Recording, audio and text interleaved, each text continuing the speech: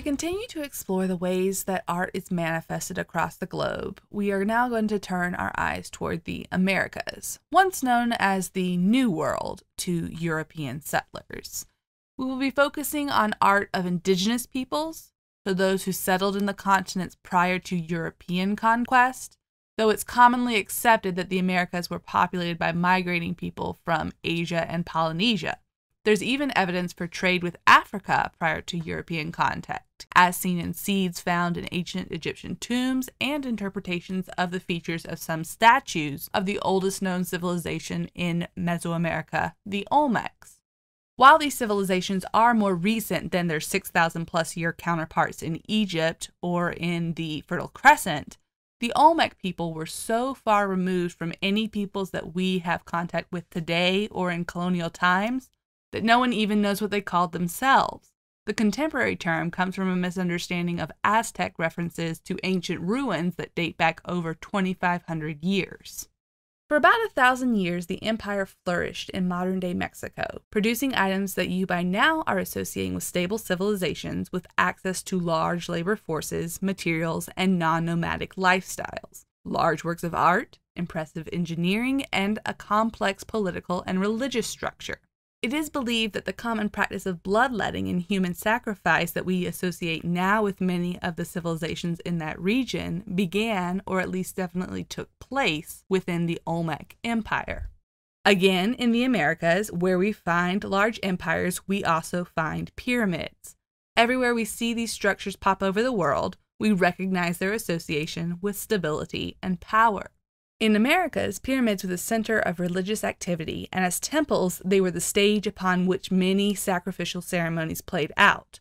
Perhaps the biggest reason for the prevalence of the pyramid is the availability of resources and the early developments in engineering from naturally occurring shapes. The earliest materials for building large scale were stone and mud brick, which became increasingly unstable as you built up if a leader wants to build something large, something truly impressive to relate their greatness to others, they're going to have to widen the base to preserve that stability. Just like the shape that you get when you pour gravel or sand in one spot through a funnel, the pyramid, with its wide base that graduates to a point, is the natural first solution to the problem of building tall. The Mayans, who rose to power later in southern Mexico and Central America, also built huge cities with large public spaces. Their empire flourished from about 200 to 1500 AD, with complex agricultural, political, religious, and social systems before the society again collapsed just prior to the discovery by Spanish conquistadors. Some scholars speculate this, as many civilizations before, was due to overpopulation and strain on the fragile ecosystems of Central and South America. These cultures also allowed for communities to gather around public events. Huge stadiums were built to watch sports, much like today's soccer or football.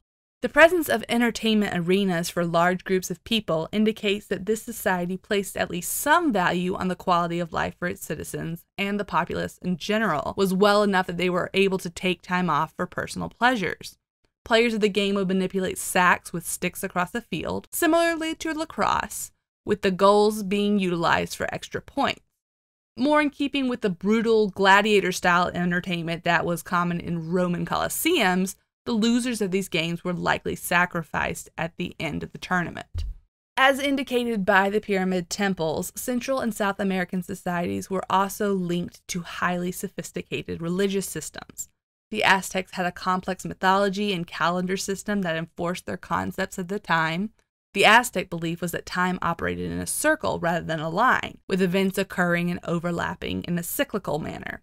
Unlike the visual layouts of contemporary calendars, which have definite beginnings, ends, and travel forward in one constant direction, the format of the circle for the Aztec calendar communicates to us strongly held Aztec beliefs, the ideas of rebirth, regeneration, and a fundamentally different understanding of the infinite. Peoples of South America were no strangers to bloodshed.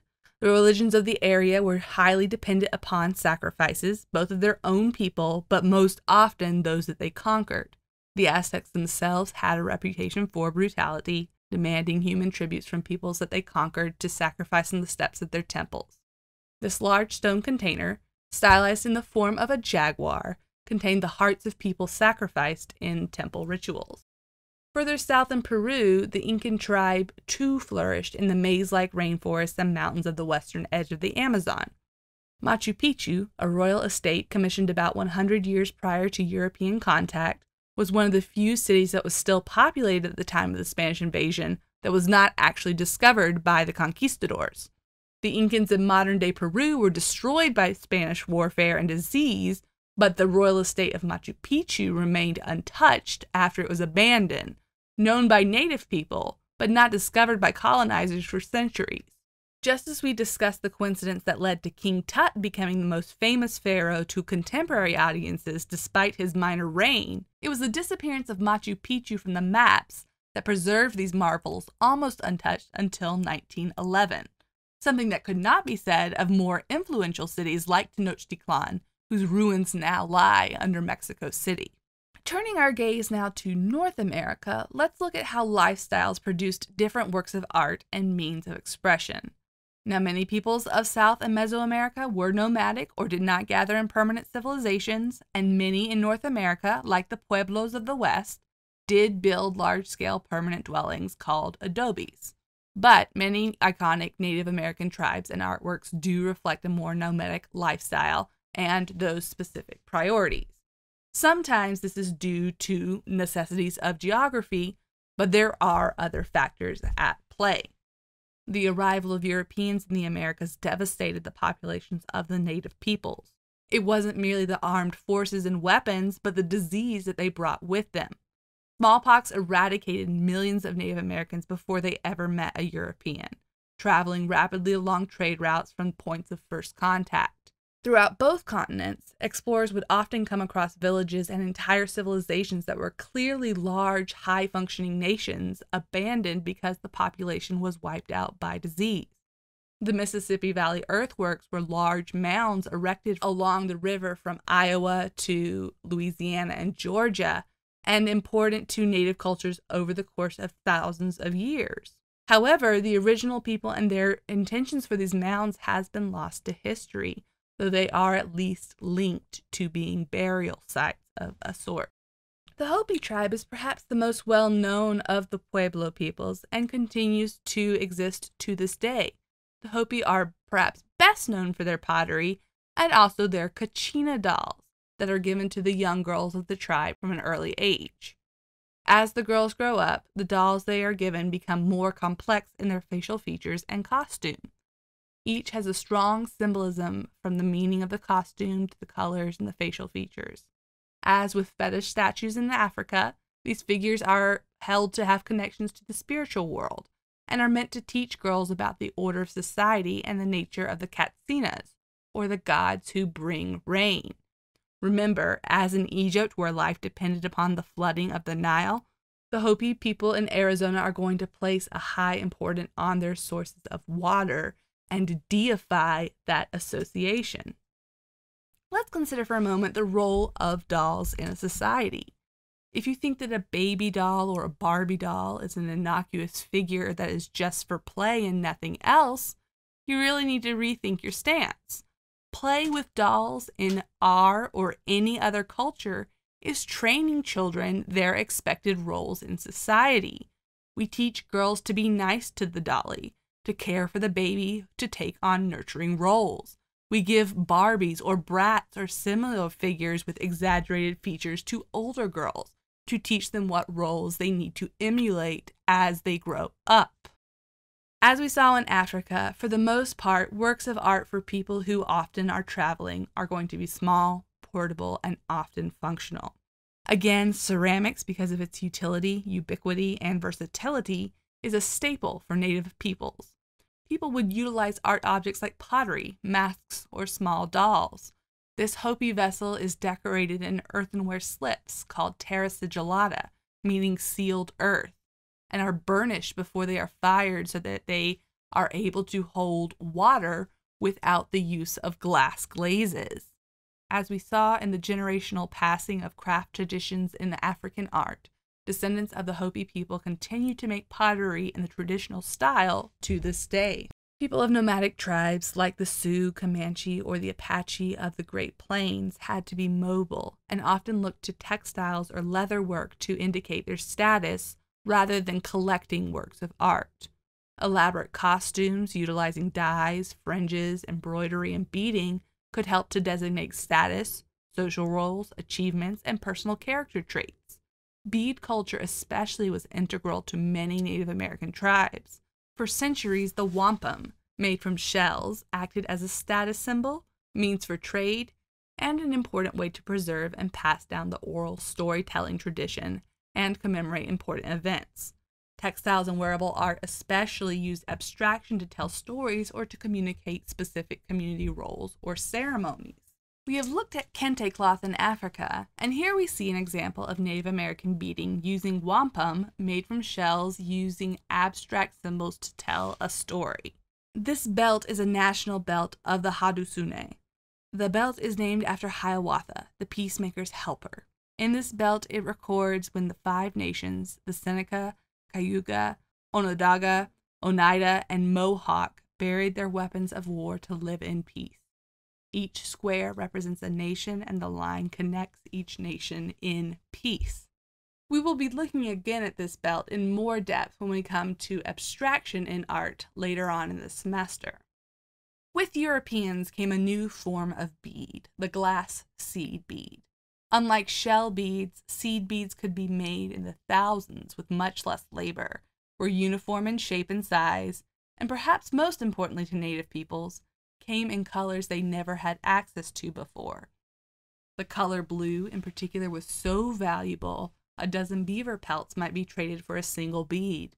Owning blue beads to a Native American woman, who was the traditional worker with the material, was compared to owning a piece of the sky.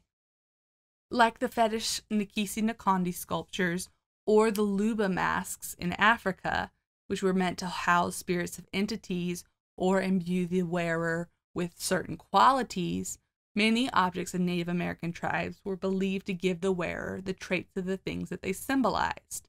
In the taking of the hide of the buffalo and painting its image on this shield, the warrior was hoping to take on the strength, power, and spirit of the animal the feathers that a warrior might wear, whether single or as part of a headdress, too carried symbolic meaning and represented the wearer's status. This is why today it is considered disrespectful to wear a headdress like this as a costume. In putting one on, a person is taking credit for heroic actions and deeds they have never actually accomplished, nor a culture that they are a part of. And this is a misrepresentation of their actions, contributions, and status. Even in the modern era, artists who come from native cultures will utilize motifs associated with their heritage to make political and social statements. Diego Rivera painted everyday people in traditional styles, highlighting the struggle of the working poor in his paintings and murals. John D. Rockefeller commissioned Rivera to create a mural on Rockefeller Center celebrating the theme of scientific and cultural progress. Rivera interpreted this in the mural that referenced not only visions for the future, but his concern with current civil rights, unrest, and the plight of the working class. Rockefeller was displeased with Rivera's communist propaganda in the painting, and when the artist refused to remove Lenin from the mural, Rockefeller had the work destroyed. Rivera's contemporary and occasional partner, Frida Kahlo, too combined her surrealist, dreamlike imagery derived from Europe with cues from her native Mexico. The highly metaphorical nature of surrealism was bent to interpretations and examinings of Kahlo's psyche, personal experiences, and heritage in recurring forms of cacti, landscapes, animals like monkeys, and her own forms of dress. As you are going throughout your week, think about how your heritage informs your own life. How do you represent yourself visually, not merely as an individual, but as a person with a specific background and heritage? How does art connect you to your history?